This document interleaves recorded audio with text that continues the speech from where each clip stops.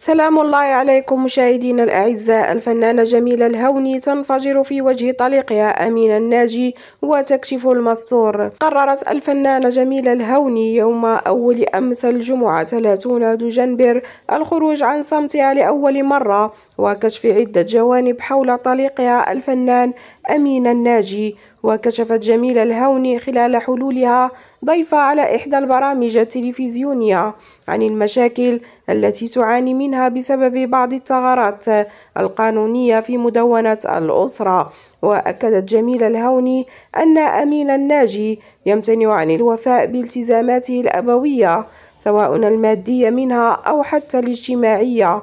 وأكدت المتحدثة ذاتها أن طليقها الناجي لا يرى ابنه منذ سنوات ولا يعرف أي جديد عن حياته كما أنه لا ينفق عليه.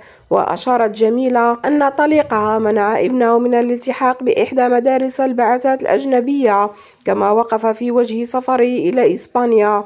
وقالت حتى أنا كنحلم بولدي واللي أحسن لاعب في العالم ويلعب مع المنتخب ويستقبلوا سيدنا ونمشي معاه القصر أنا عانيت من هذا الشيء. أنا فاش يلاه تفرقت معاه تفرقنا على ميابل ما كاين حتى شي حاجة. ولكن ملي بغيت نتزوج عشت الرعب. عشت الرعب لأنني خايفة une fois نتزوج كان تهديد. une fois نتزوج غناخذ لك الولد. واخا شنو غادي ندير؟ غادي. غنعيش الرعب. مور هذه المرحلة. ما كاين لا خدا الوالد ما كاين لا نفقة ما كاين لا حتى شي حاجة ما كاينة في هذا الشيء. ما كيشوفوش. يعني من 2015 أنا اللي ديت ليه يعني من 2014 آه، من شهر 4 ما شافوش. حتى 2015 أنا اللي ديتو اللي شافوا ساعتين ورجعت. ورجعت للدار. رجعت مع ولدي. من هذاك الوقت ما شافش. النفقة تخلصات جوج مرات.